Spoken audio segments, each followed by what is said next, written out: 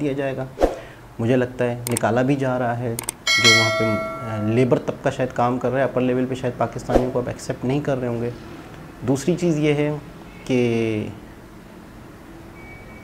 ये जो मौलाना साहब जो इंटरव्यू दे रहे थे कि जहाद और ये, वो, ये एक मदरसों में पढ़ने वाले अलग तबके के लोग हैं, इतनी इस वीडियो का टाइटल है Pak media crying as Saudi Arabia, snap Pakistan. देखते हैं इस वीडियो में क्या है।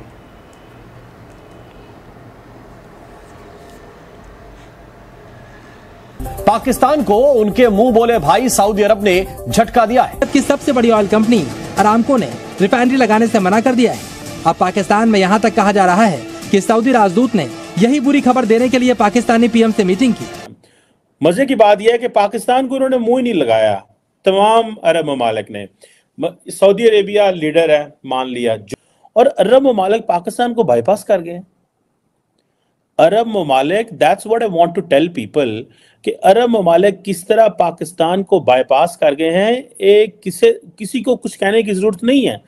कैसे देखते हैं? साइंस या फिर जहाद जहाद इंशाल्लाह जहाद इंशाल्लाह आप कैसे करेंगे जब तक साइंस में तरक्की नहीं करेंगे जहाद होगी? साइंस की तरक्की हमें साइंस की तरक्की नहीं चाहिए। अच्छा। इस पूरी पाकिस्तान का जो हल है ना सिर्फ़ जिहाद है। जी हाँ मोहम्मद बिन सलमान ने अब ये कर दिया है कि अगर कोई मक्का मदीना में जाकर अगर गजा या फलस्तीन के लिए दुआएँ पढ़ना शुरू कर दे या उनके फ्लैग के कलर के कपड़े पहन ले या कोई फ्लैग ले ले या तस्वीर ले ले या इस तरह का कुछ भी करता हुआ दिखाई दिया उसको अरेस्ट कर लिया जाएगा। ये हमारी नलायकियाँ हैं। हमने ओ का इस तरह इस्तेमाल किया एक बात और दूसरी बात यह है और हम अपने पॉलिटिकल पर्पजेज के लिए इस्तेमाल करते रहे कि जी हमने कश्मीर के लिए उसको इतना ज़्यादा इस्तेमाल किया कि असा मेज कट छड़ी। आप तो ओआईसी हमारा थ्रेट भी नहीं लेती। खतरा हम भी कहें ना हमारे मुल्क में इस वक्त केयर टेकर गवर्नमेंट है अरबियों ने सऊदी ने पूछना मुनासिब ही नहीं समझा यार पाकिस्तान को साथ लेके जाएँ। पाकिस्तान किसकी जगह है? किसकी जगह? पाकिस्तान हमारी जगह और किसकी है? मुसलमानों की जगह है ना? गैर मुस्लिम का क्या मकसद है यहाँ पे रहने का? अच्छा गैर मुस्लिम को पाकिस्तान में रहने ही नहीं देंगे। नहीं रहने देंगे इनशाला सब मुसलमान होंगे। रहने नहीं देंगे उनको मुसलमान करेंगे इनशाला और क्यों? आप देखें इसमें अपने ऊपर दुख हो रहा है कि हमारी लीडरशिप ने हमारा ये जुलूस निकाल दिया दुनिया में। जय हिंद दोस्तों। दोस्तों इस बार सऊदीज ने पाकिस्तान की इतनी बड़ी बेजती की है और दो जगह बेजती की आप लोग सुन के हैरान हो जाओगे। दोस्तों अभी दो तीन महीने पहले सऊदी अरेबिया ने ऐलान किया था कि 10 बिलियन डॉलर की ऑयल रिफाइनरी लगेगी पाकिस्तान में। उस ऑयल रिफाइनरी की जो कंपनी थी अरामको अरामको ने मना कर दिया कि भाई हम ऑयल रिफाइनरी नहीं लगाएँगे पाकिस्तान में, क्योंकि पाकिस्तान में जितनी भी बहुराष्ट्रीय कंपनियाँ हैं, वो घाटे में ही जा रही है, और कोई कंपनी जानबूझ के घाटे में काम नहीं करेगी, उन्होंने मना कर दिया। दूसरी तरफ़ दूसरी तरफ़ दोस्तों, इसराइल हमास कॉन्फ्लिक्ट को लेकर सऊदी अरेबिया ने चीन से मीटिंग की, जिसमें Nigeria, Indonesia, Turkey, UAE, Bahrain इन सभी देशों को शामिल किया। लेकिन जो फिलिस्तीन के लिए, गाजा के लिए, हमास के लिए जान देने को तैयार थे कि बस हम अटैक कर देंगे इसराइल पे। उनको जो है सऊदीज ने पूछा ही नहीं कि इस मीटिंग में तुम्हारा क्या योगदान है, आओ तुम भी बात कर लो। पूछा ही नहीं। अब दोस्तों, पाकिस्तानियों की रोना धोना आप लोग देख सकते हैं, सॉफ्ट हो। गए जहाँ ये सऊदी को अपना बड़ा भाई बताते थे कि सऊदी मतलब हमारे लिए जान छिड़कते हैं ऐसा तो वैसा सऊदी ने इनको मुँह तक नहीं लगाया। दोस्तों, इतनी बड़ी बेजती कर दी मुस्लिमों, मुस्लिम दुनिया के। लेकिन दोस्तों, वो मुस्लिम दुनिया ने जो पाकिस्तान की बेजती की है, वो थोड़े एजुकेटेड है। और पाकिस्तानी आप देख ही सकते हैं, मदरसा छाप लेकिन आप मज़े की बात यह है कि पाकिस्तान जो है वो उसको अरब वर्ल्ड नहीं छोड़ दिया मुसलमान दुनिया ने पाकिस्तान को अकेला कर दिया हमने किसी के पास क्या जाना है और किसी के पास जाके क्या कहना है? और हम क्यों कहेंगे कि यार हमारी बात सुने? जब हमें अपने मुसलमान दुनिया ने ही पाकिस्तान को छोड़ दिया है, मैं तो चाहता हूँ इस वक्त हम कहते हैं, जी, हमारे इंडिया से ताल्लुक खराब हैं। और भाई देखो, मुसलमान दुनिया से आपके ताल्लुक क्या, किस नहज पे हैं? और मुझे याद है, बहुत सारे पाकिस्तान के जो एम्बेसडर हैं डिप्लोमेट्स हैं, वो इस बात पे बोलते हैं और कहते रहते हैं कि यार, हमें अपने ताल्लुकात को जो है वो नॉर्मलाइज करने की ज़रूरत है रिविजिट करने की ज़रूरत है अरब वर्ल्ड के साथ। लेकिन मजाल है जो हम कभी ये सोचा हो कि हम कैसे अरब वर्ल्ड के साथ अपने ताल्लुकात को रिविजिट करेंगे। क्या होगा और क्या नहीं होगा? आप इमेजिन करें कि उन्होंने पूरे पाकिस्तान को ही बाईपास कर दिया। That's way the Muslim world keeps us हमारी इतनी को इज़्ज़त करते हैं, वो हमें इतना को वो अहमियत देते हैं डिप्लोमेसी में और वो कहते हैं कि जनाब, तुसी होने तो निकलो। मैं एक प्योरली जिसे आप कह लेना है कि अगर आप इसको एक एकेडमिक पर्सपेक्टिव से बात करें, पाकिस्तान ने अपनी जितनी भी पचहत्तर साल की, छिहत्तर साल की जो फॉरेन पॉलिसी है, हमारे तो कॉन्स्टिट्यूशन में लिखा हुआ है कि मुस्लिम वर्ल्ड से बाहर नहीं निकलना और मुस्लिम वर्ल्ड से बड़े अच्छे ताल्लुकात रखने हैं। इवन के इस हद तक कि आप कुछ कह नहीं सकते मुसलमान दुनिया के बारे में। मुझे, मेरे पास अभी भी खबर है कि पाकिस्तान के अंदर एक सीनियर एक अहदेदार को रिमूव कर दिया गया है एक एक जगह से। मैं, क्योंकि मैं वो बताना नहीं चाहता, वरना बहुत सारे लोग वहाँ पहुँच सकते हैं। एक सीनियर बंदे को एक सीनियर जगह से रिमूव कर दिया है because he said something about Saudi Arabia और वो जहाँ पे बैठे हुए थे, वहाँ पे सऊदी अरब के बारे में कुछ चीज़ें हुई तो उनको रिमूव कर दिया गया। Directly complain to the prime minister of the Pakistan so position ये है कि प्राइम मिनिस्टर को एक सेकंड में उन्होंने क्या कि रिमूव कर दिया। क्यों? तो भाई, हम तो सऊदी अरब के पास पहुँचे हुए हैं, हमें दें पच्चीस अरब डॉलर, बीस अरब डॉलर, तीस अरब डॉलर, हमने वहाँ पे बलोचिस्तान में लगाने हैं। तो हम उन्हें क्या कहेंगे? जब एक एक हमारे वो एक ऑफिशियल को रिमूव कर सकते हैं, ठीक है तो हम उन्हें कह सकते हैं, हमें चाइना लेके चलो। क्या हम उनको कह सकते हैं हमें चाइना लेके चलो? हमारी क्या वैल्यू रह जाती है? और हमारे वज़ीर आज़म जो है, उसने ये जो केयर टेकर वज़ीर आज़म साहब हैं, इन्होंने ये किया है। और मज़े की बात यह है कि वो ये भी कह सकते थे कि हम इस पर एक्शन लेंगे, देखेंगे क्या हुआ है, कैसे हुआ है। लेकिन उन्होंने खुश करने के लिए, उन्होंने कहा, नहीं सर क्योंकि साढ़े अहलन वसाहलन मरहबा हबीबी सऊदी अरब ने कहा है तो हम तो बंदे ही फारग कर देंगे वहाँ से। तो जब हम इस तरह की चीज़ें करते हैं तो देन दे रियलाइज़ कि भाई ये तो कुछ भी नहीं है ये तो रेत की दीवार है। तो हम उन्हें कह सकते हैं कि आप आ, आ, कर आप जाके कुछ आ, वो करें आ, हमें साथ लेके जाएँ। हम नहीं कह सकते। सो so, पाकिस्तान को ये देखना है वे डज पाकिस्तान स्टैंड अभी तो ये मेयर और गेज करने की ज़रूरत है। पाकिस्तान जिस तरह कॉम्प्रोमाइज हुआ हुआ है पाकिस्तान कंप्लीटली कॉम्प्रोमाइज हो चुका हुआ है।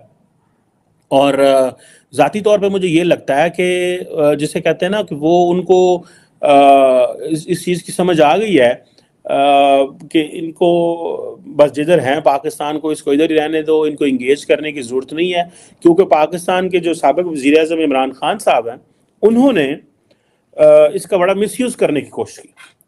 उन्होंने अगर आपको याद हो, वो वो अमेरिका गए और वहाँ पे जाके इस्लामोफोबिया के में के हवाले से एक इस्लाम इस्लाम का लीडर बनने की कोशिश की। सऊदीज़ को और बाकियों को, वो भी बुरा लगा। फिर उन्होंने कहा जी कि मैं कतर, ईरान, मलेशिया, टर्की के साथ मिलकर एक टीवी बनाऊँगा जो इस्लामोफोबिया के खिलाफ होगा। उसके ऊपर समिट हुई। मोहम्मद बिन सलमान ने कहा, नहीं वज़ीर अजम साहब, आप वहाँ नहीं जा सकते। हमने वो समिट कॉल की, हमने ही सबको कन्विंस किया, वो सारे मलेशिया पहुँच गए और हम पीछे वापस आ गए। और साढ़े पंजाबी कहते ने पौड़ी चाड़ के डंडा खींचना हमने उनको जो है ना वो सीढ़ियों पे चढ़ा दिया बाद में से खींच लिया उनको और उसके बाद उसका कोई मुस्तकबिल नहीं बना। तो हमारी तो पोजीशन यह हमारा वज़ीर अजम तो हिल भी नहीं सकता फिर हमारे लोगों ने पाकिस्तान में कहना शुरू कर दिया और पायजान ये स्ट्रेटेजिक पेशेंस है। ये स्ट्रेटेजिक पेशेंस है जो हम कर रहे हैं। खामोशी है ये सबर की जो है ना हम एक और बड़े गोल के लिए सबर इस, इसको कर रहे हैं। So that's way we stand हमने मेरा ख्याल है कि पाकिस्तान की जो इमरान खान साहब ने और फिर हुआ क्या कि इंडिया के कहने इंडिया के कहने पे they always supported India on this Kashmir किसी मुस्लिम दुनिया ने हमारी नहीं सुनी। मुस्लिम दुनिया के हर जगह जब अपनी इज़्ज़त खुद क्लेम करनी पड़ती है बनानी पड़ती है। सो so, हमें दोबारा इसको देखना है कि how we have to reclaim our respect we have to maximize our national interest within Muslim world क्यों नाइजेरिया और इंडोनेशिया को सऊदीज लेके जाते हैं और क्यों पाकिस्तान को नहीं लेके जाते? उनको पता है पाकिस्तान ने इन्हीं को गालू नहीं है उसको बढ़ा चढ़ा के इतना ज़्यादा इंटरनेशनल लेवल पे अपनी लीडरशिप क्लेम कर लेनी है मुस्लिम दुनिया में। सो उन्होंने सिर्फ़ स्नब किया है। सऊदीज ने पाकिस्तान को स्नब किया है। Otherwise why won't are the Indonesians Arabs Nigerian कोई अरब है? क्या उनकी सिग्निफिकेंस बनती है इसमें? लेकिन जस्ट हमें सिर्फ़ जिसे पंजाबी कहते हैं, औकात दसन आज कि थोड़ी इन्नी औकात और जारी बात है, हमारा कोई पोलिटिकल वेस्ट तो नहीं है, हमें तो किसी ने कंसल्ट भी नहीं किया स्वाय मेरा ख्याल है। तो दोस्तों, सऊदीज ने और अदर मुस्लिम देशों ने यह बता दिया कि भाई, मदरसा छाप मुसलमानों की ज़रूरत नहीं है दुनिया में। क्योंकि वो सिर्फ़, आप लोगों ने देखा होगा ये, देखा होगा कि ये जो मदरसे छाप टाइप के होते हैं, पाकिस्तानी की बात कर रहा हूँ मैं। वो दोस्तों हमेशा मारने, पीटने की, जिहाद की तो ये कर देंगे, जो गैर इस्लाम है, उनको ज़बरदस्ती कन्वर्ट कर देंगे, इस्लाम बना देंगे, ये सारी बातें करते हैं जो मदरसा छाप होते हैं। और दोस्तों, जो पढ़े लिखे कोई भी कम्युनिटी के लोग हो चाहे वो मुस्लिम ही हो, हिंदू ही हो, कोई भी हो, जो पढ़ा लिखा व्यक्ति होगा, वो इन सभी बातों को लाइक नहीं करेगा। और आप लोग देख सकते हैं सऊदी इसीलिए धीरे धीरे हर जगह से पाकिस्तान को बाइकआउट कर रहे हैं। और दोस्तों, अगर मुस्लिम दुनिया में किसी को सऊदीज ने बाइकआउट कर दिया तो आप लोग समझ लो, फिर उसको कोई मुस्लिम दुनिया सहारा नहीं देता। अगर एक बार पाकिस्तान को सऊदीज ने बाहर कर दिया, उनका साथ देना छोड़ दिया तो ना यूएई देगा, ना कतर देगा, ना ओमान देगा, ना मलेशिया देगा, ना इंडोनेशिया देगा, फिर उनका साथ कोई नहीं देगा। अगर एक बार सऊदीज किसी का साथ छोड़ दे तो। ये दोस्तों सीन है। हमेशा अपने आप को ये जिहाद, मारपीट, काटो गैर मुस्लिम हो तो उसे खत्म कर दो या उसे इस्लाम में कन्वर्ट कर दो। अबे, ये सारी बातें रह गई या पढ़ाई लिखाई भी कुछ सुनना है तुम्हें या करना है। लेकिन दोस्तों, खैर, इनकी यही आदत है। और आज से नहीं, जब से ये बने हैं, तभी से यही औकात है इनकी। पैसों से, भीख पे, चिल्लर पे ये लोग पलते रहे हैं। और वही है कि जब चिल्लर देने वाला इनसे मुँह मोड़ लेगा तो इनकी हालत क्या होगी? आप लोग देख ही सकते हैं। तलवे चाटेंगे अब एक एक देश की, आप लोग देखना। तलवे चाटते हुए नज़र आएँगे। और भाई, ये सबक है उन लोगों के लिए जो भारत में रह के भारत को गाली देते और बोलते पाकिस्तान बहुत अच्छा है। तो अब अगर पाकिस्तान में जाओगे ना तो आटे दाल की कीमत पता चल जाएगी। और खैर, पाकिस्तान जाओगे, ज़िंदा वापस आओगे, ये भरोसा भी नहीं है, क्योंकि टीटीपी और कई तरीके के ग्रुप भी सक्रिय तो इसलिए जिस देश में रह रहे हो एटलीस्ट उसकी तो बुराई ना करो। आई होप ये वीडियो आपको अच्छा लगा हो। जुड़े रहे ऐसी वीडियोस के लिए, तब तक के लिए धन्यवाद, जय हिंद। खुल के चीज़ें सामने आती जा रही हैं वक्त के साथ साथ कि क्या ताल्लुकात हैं हमारे सऊदी अरब से, क्या ताल्लुकात हैं हमारे अरब दुनिया से, क्या ताल्लुकात हैं हमारे मुस्लिम दुनिया से?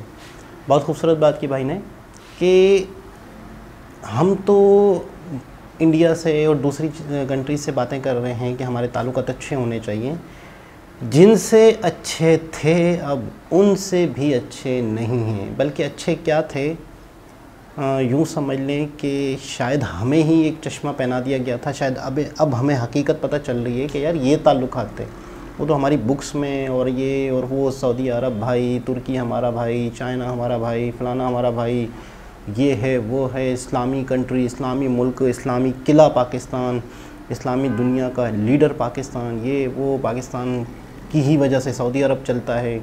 सऊदी अरब की फ़ौज नहीं है, हमारी वजह से सऊदी अरब को सेफ्टी है, ये है। मैं तो जो चीज़ें हम बचपन से सुनते हुए आ रहे हैं, जो हर पाकिस्तानी अभी तक समझता है तो हकीकत ये नहीं है, खुल के सामने आ रही है कि क्या इज़्ज़त, क्या अहमियत, क्या रिस्पेक्ट पाकिस्तान की अब अरब कंट्रीज़ में है ख़ास तौर पे सऊदी अरब में। आने वाले वक्त में लोगों को भी निकाल दिया जाएगा।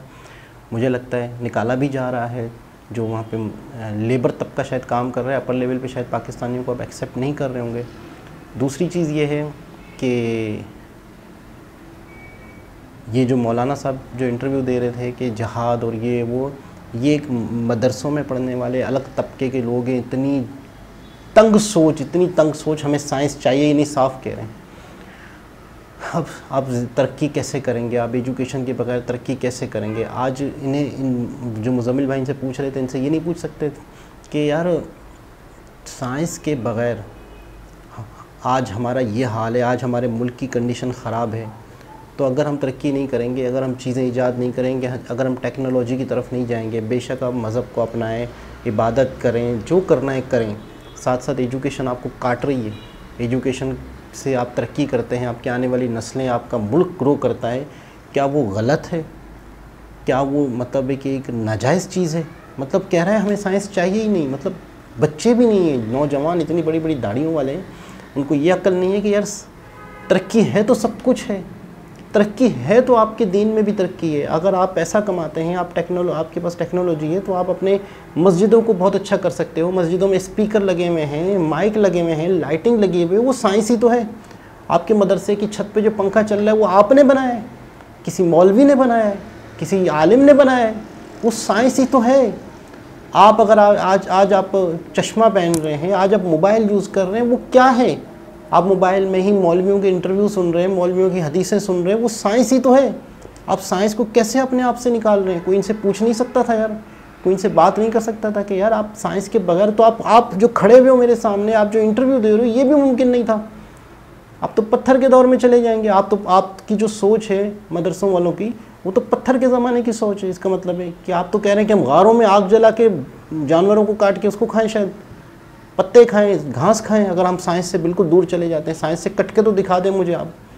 आप कह रहे हैं, यार, साइंस के बगैर ही हम सही हैं और हम जिहाद और ये वो, ओ मेरे मालिक, क्या बनेगा ऐसे लोगों का? क्या एंड होना है?